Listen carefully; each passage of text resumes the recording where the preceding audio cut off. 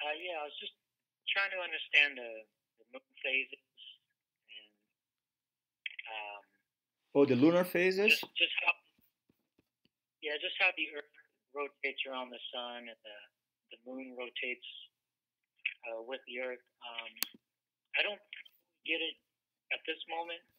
Okay, let, let me show, let me pull up something here quickly. it? quickly. Okay.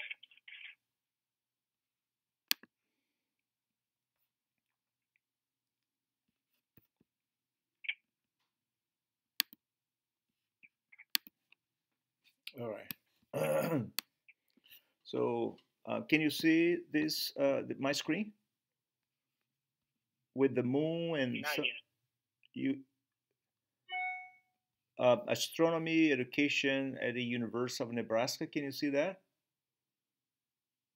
Um, no. Probably no, Just, huh? uh, Okay, well, okay. I think I have to open the entire. Okay, just a second. Stop sharing. Share desktop. Can you see now? No, Okay. Um, okay, so here is the sun. Got that? Right here is the sun. And Earth is right here. And we are looking at Earth from north, from the north celestial pole, if you will. So, right in the center of Earth is North Pole.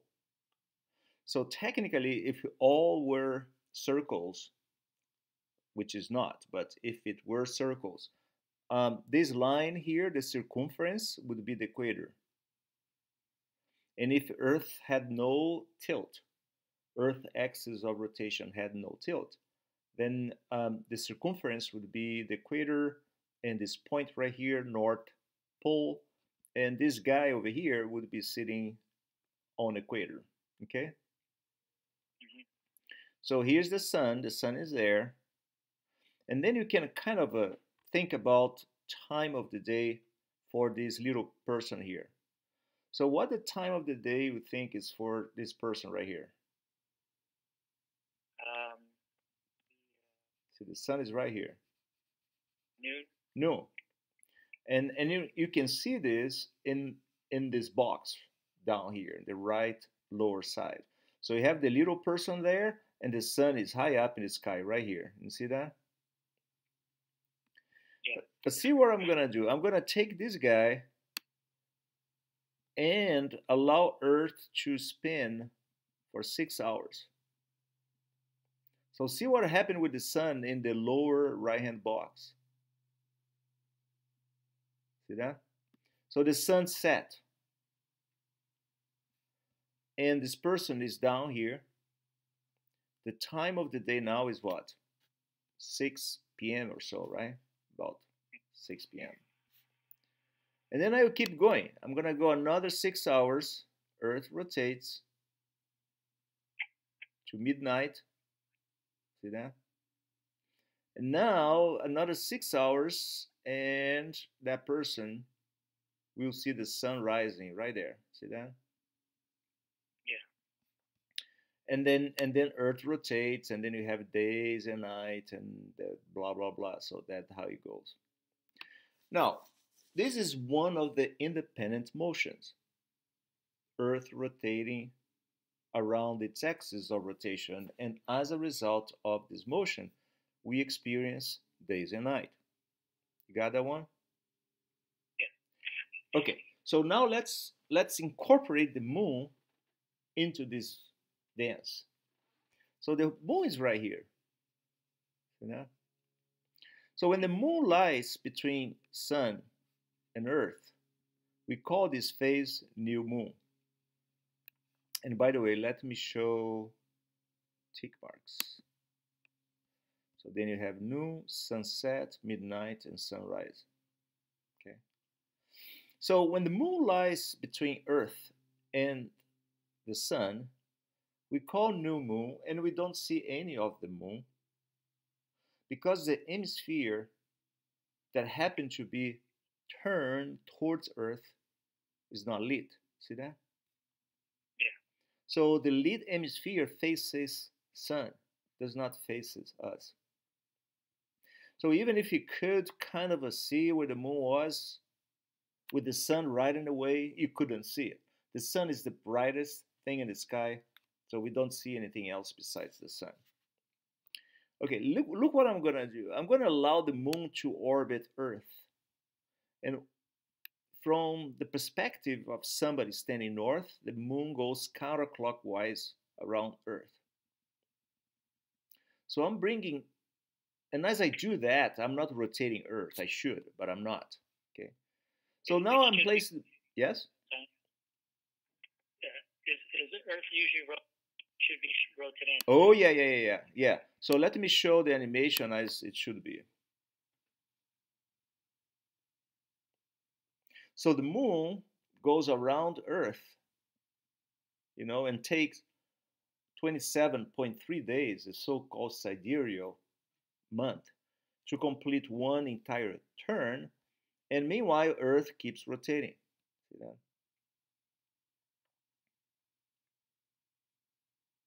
So as the moon orbits Earth, at any given time, half of the moon is entirely lit by the sun.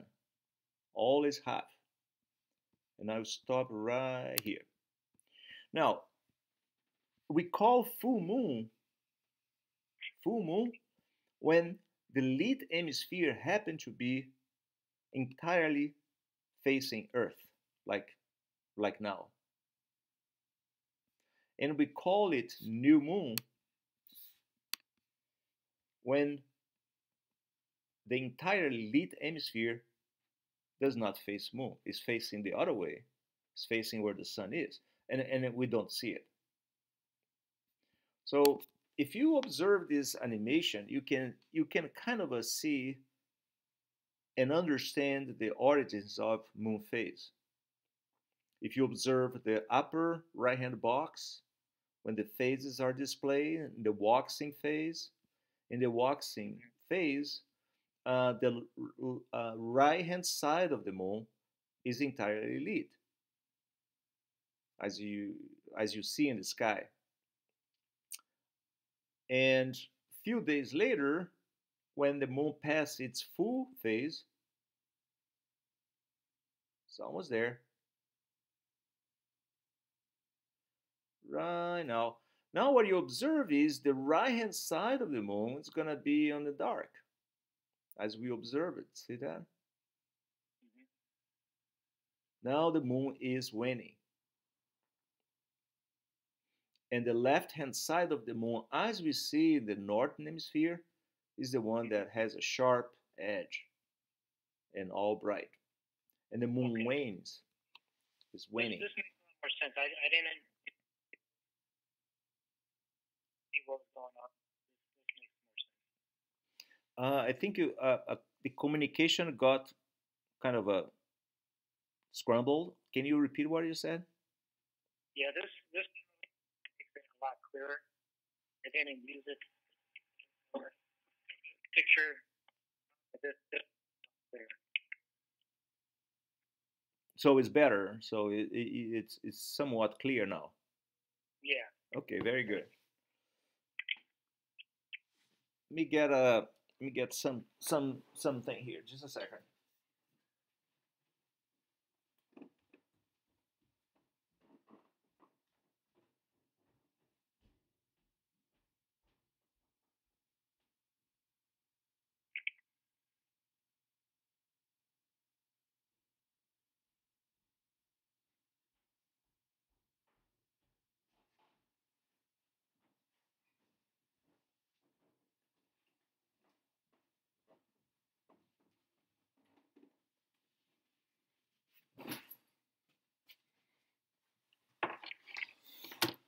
Well, another tablet in case I need to write um, anything. Um, yeah. So, for instance, let's let's uh, stop this animation for now. Uh, what is it right here? Can I have a question right here, Professor? Hey, Min Hyun. Yes, of course. Yes, yes. well, since we're talking about the moon phases, uh, I got a question. So Yes. when the when the moon is closer to the sun than the Earth, so what phases uh, should we see? Okay, so look at this. In this phase, the moon is closer to the sun than Earth is. So the phases are crescent, Uh. Yeah, crescent. crescent Yeah. or new moon. So the moon is closest to the sun in the new phase. It's right here. And it's further out in the we, we don't Say it again? even though we don't see the the new Oh yeah, yeah, yeah. Uh, yes. Yeah. But um, the closest phase, I mean, the moon approaches the sun in the waning crescent phases and then gets closest in the new phase and it starts to depart and go away from the sun in the waxing crescent phase. Now, Earth becomes closer to the sun in the gibbous, waxing gibbous phase and and the moon gets further from the sun in the in the full phase and then it start approaching again as it go through the waning gibbous phase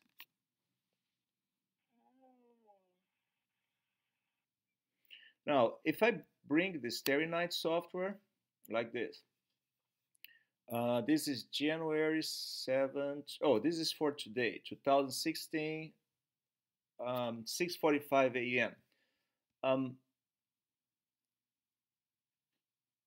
there is a nice viewing. You have the moon in the eastern sky, Saturn. It's like a probe. That would be a nice view. Approach this, see what it is. Oops.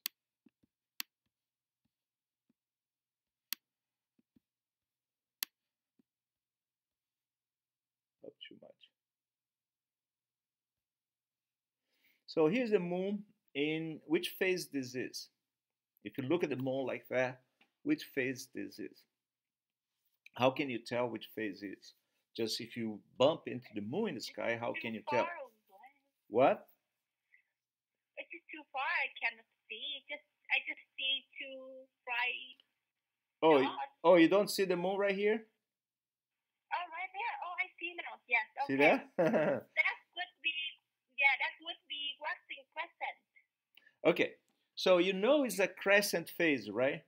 Because you have a tiny bright edge of it appearing to you. Now, in the northern hemisphere, how do you decide if it's if it's waning or waxing? So here's the trick. Uh, So uh-huh. which hand would you use to grab this crescent phase you see? Would you use your right hand or Uh, that- left hand? I would use the left hand.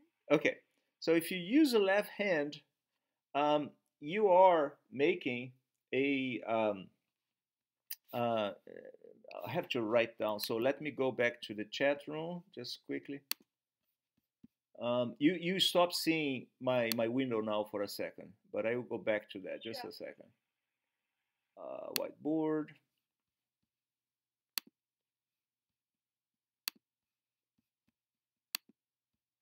There you go. So you you are we are seeing this type of moon right there, right? Okay. So the letter you write is the letter A for after after uh, full moon. So this phase, see the letter A like this? Kind of. After full moon. So after full moon, the phases are waning. So that phase is a waning crescent phase. Oh. So let Now, me you? Yeah. let me go back to another another one uh, to sharing go back there. Now I'm going to advance the time 21. So now it's 21 January. And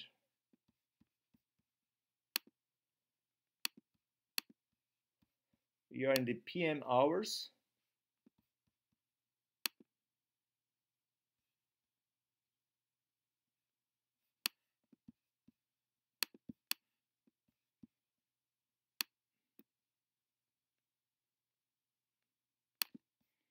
In fact, I need probably a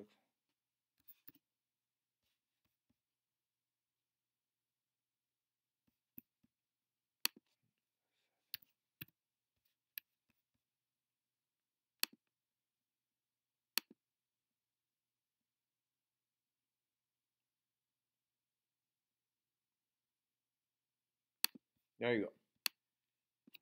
So which phase is this? So when you look at the moon as being somebody in the northern hemisphere. Can you see my my my window? Yes, I do. Yeah. So yes. the part of the moon that is sharp lit is uh-huh. the right hand side. So if you were to grab that moon, you would grab with your right hand. Correct? Yes. Okay. Yes. So now let's go back to the chat room.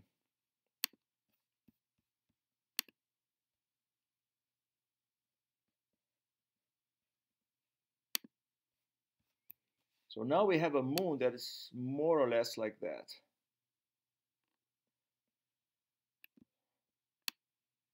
Okay. So we are writing the letter B. Oh, B, for. B for B for ah, full moon. So it should be waxing. So this is a waxing phase. So if you can, if you look at the moon, you have to be in the northern hemisphere. If you go to the southern hemisphere, Australia, Brazil, Uruguay, all of this is reverse. But if you are in the northern hemisphere, see the moon in the sky. If you grab the bright lit part with your left hand, that moon is a waning moon. If you hold with the right hand, that moon is a waxing moon. And then you have to decide and see if it's crescent or gibbous, depending on if more than 50% of the lead hemisphere is filled or not. If, if it is, it's a gibbous. If it's less than 50% lead, we call crescent. If it's a half, we call quarter. Does that make sense? Yeah. Yeah, that would cover all the phases. What? Yes, but how do we know we are from North Hemisphere or South Hemisphere? Uh, let's say we are in San Jose, right? If you are in San Jose, it's northern hemisphere, is above equator. Oh. And any any city you go or any country you are that is above the equator, um, it's northern hemisphere. And then this rule apply to that. But if you go to the southern hemisphere, and if you want to see the moon in general, you have to face north. And when you face north mm. to see the moon's phase, uh, they appears to be reversed from what we see in the northern hemisphere. Let me go back to here.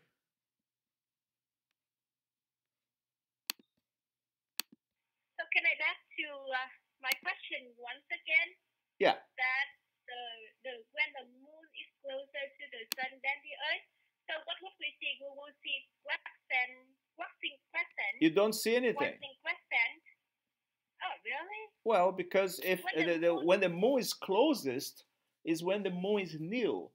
In the new phase, you don't see anything, right? Oh. The new phase is the only phase that you really don't see anything. Right? I I still because uh, I still think if we when I mean if uh, when the moon is closer to the sun, then we would see something, right? No. Let me go to no? today seven. Let me see here seven seven seven. Let me go to the starry night ah. and seven January seven. And let's look east. Uh, AM. January 7. So the sun is rising. Okay, and, and let me get rid of daylight. Yes. So I don't have daylight. And oh, wait a second. Okay, where is the moon? Remember those two dots? One was Saturn, and the other was Yes. something else. So they are here. They are right there. And the moon, let me see where the moon. I lost the moon. The moon is right here. Look at that. There. Yes, I, I See see, the moon there? Okay, but I'm Uh-huh. gonna bring it ag- again.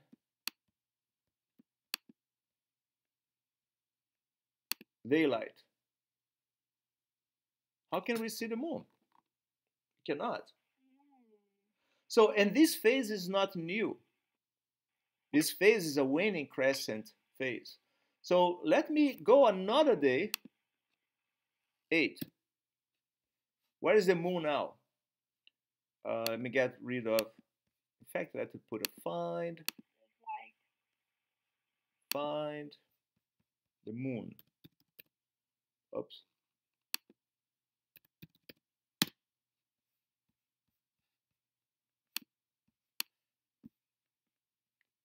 Should be somewhere here. See, I, I can't even see it. It's all lost. Uh, Is is in the center? It's very much close to the sun. If I um, if I hide daylight, it's right there. Here's the moon. And then I'm gonna go another day, nine. See the moon right there? Yes. So this is uh let me see. See if I can take the phase of it. The moon uh moon is right there? 29 point 29.5 days. So in a few hours the moon is gonna be technically new, right? Technically new.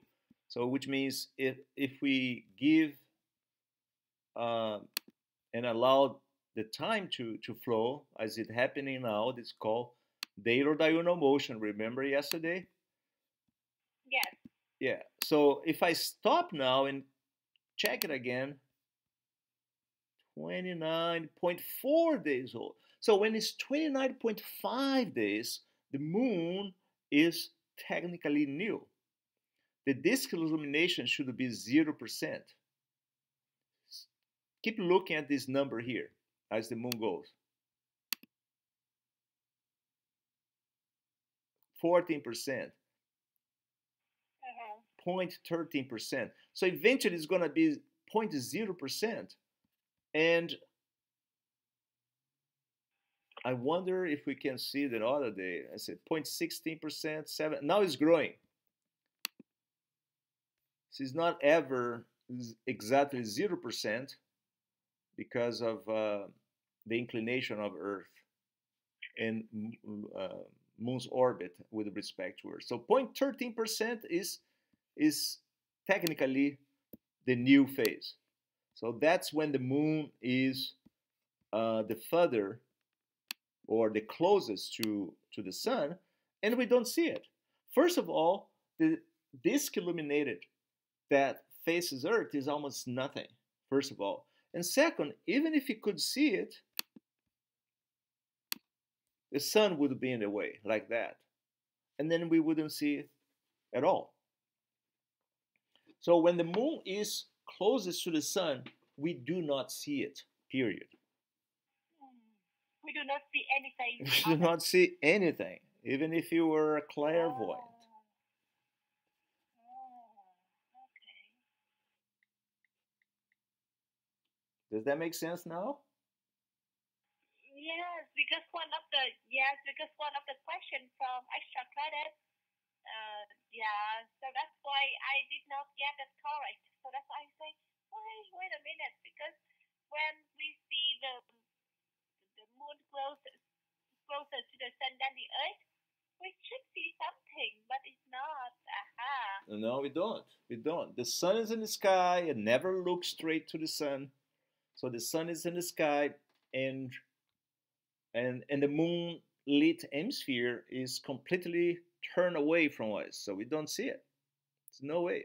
Ah, yes. Okay, thank you. All right. Tuan, it's clear now. Yes. It's a little bit better now. Yeah, and Ah, yeah, I'm telling you. Yes. Chris uh, Batalha, um, uh, Friday are we going to review some of these things? On Friday? 6.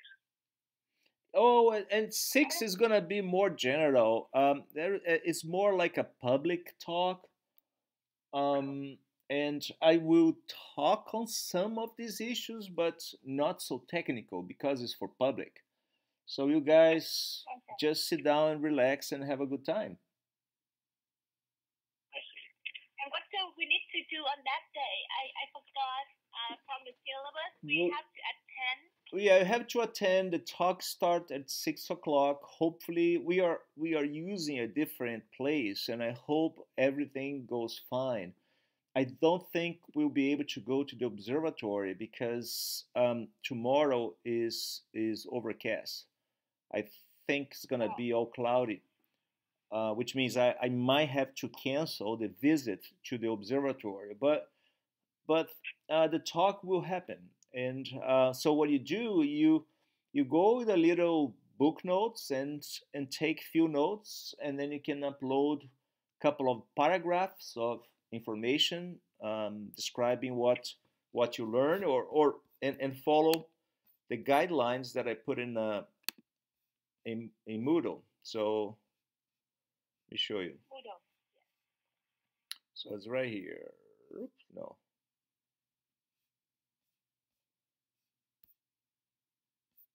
Oh, that's for. Is the place still in VPA auditorium, uh, Professor? Uh, there we go.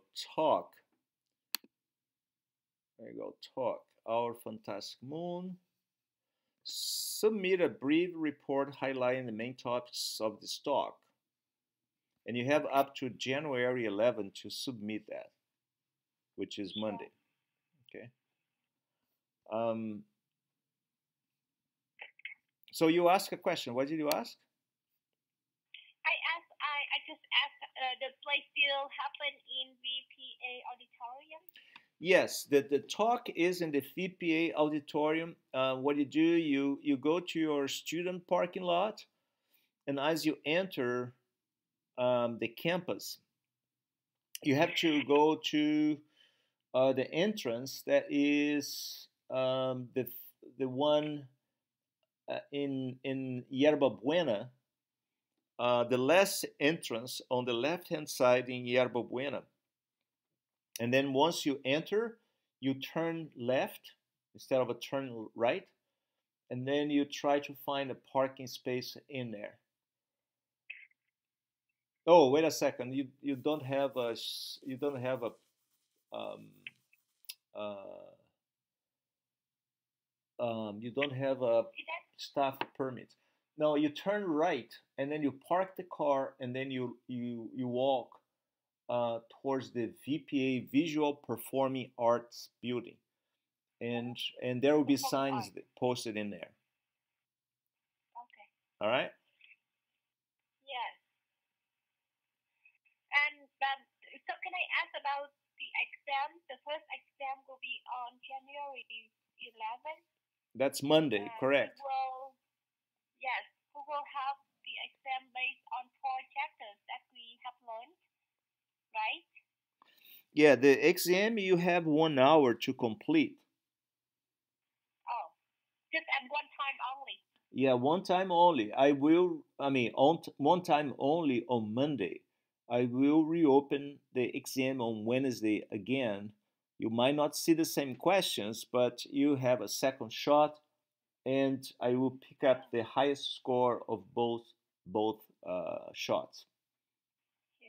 When do you when do you plan to open the exam? Monday or can you open earlier, like uh, Sunday? I will open Sunday midnight, and I will close o- close on Monday midnight. So you have 24 hours to to select one hour to complete your exam. hmm Because I, I work on Monday and I um, come home really late, so that's why I just uh, want to do a half like on the weekend. But since you open only since uh, start at twelve at midnight, so yeah. Yeah, either you can you can you can do early on Monday before you go work. Uh, early because I still yeah. It's okay. I will find time. Yeah, I Yeah. will follow the rule and I will find time. Yes. Yeah. All right. all right.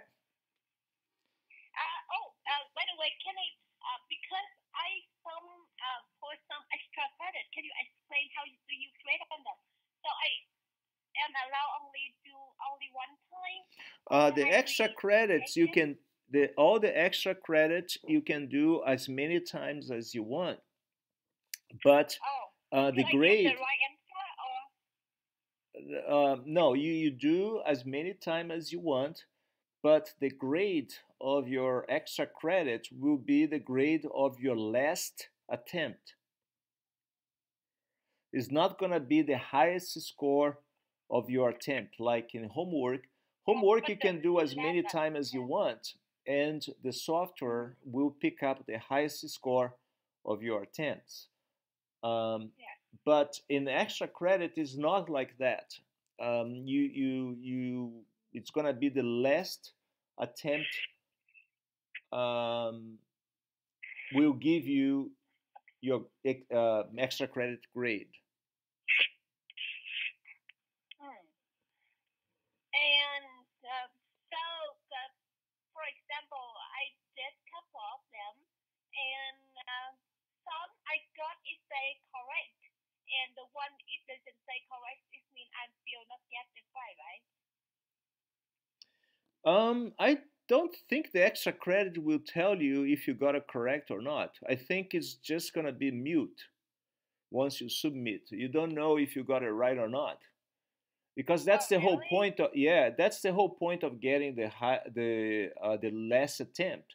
Because uh, since the extra credit there are only two or three questions, uh, students who want to just get an extra credit and they are not interested in learning, what they would do is to submit as many times as as they can to get it right, right? So the point is you have to read it and try to get it right. Because you know, if if you could check my work, um, I did some of them, uh, so that's why I I just asked. Well, uh, that's the deal. Here's the deal. Here's the deal with extra credits. So you submit if you think is you did it right. So you don't need to to uh, look for help. But let's say some of the questions are not clear. So what do you do? You email me and you ask for help and say, hey, you know, the question is based on that. My Oh, answer was this because I think that blah blah blah. And then I will reply to you say, hey, you know, but have you considered this, this, and that? And then you're gonna take that into account, and then and then either you know keep your answer or make changes and then communicate with me. The main point is to use extra credit to learn more the subject and interact with me in Yes, the process. That's the whole thing. Okay, thank you. I got it. I All got right. All right. All right. Thank you. Thank you. Thank Thank you, Tom. See you mañana. you. See ya. See ya. Bye bye.